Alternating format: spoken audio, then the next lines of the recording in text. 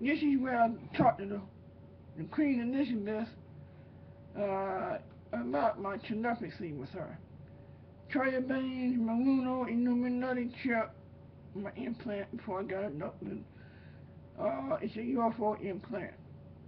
85 billion euros from the Queen E, as I call her.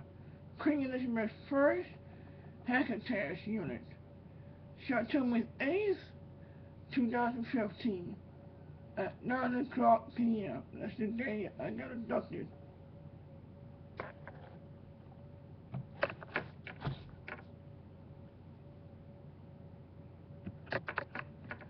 Okay, on it. I think I'm y'all.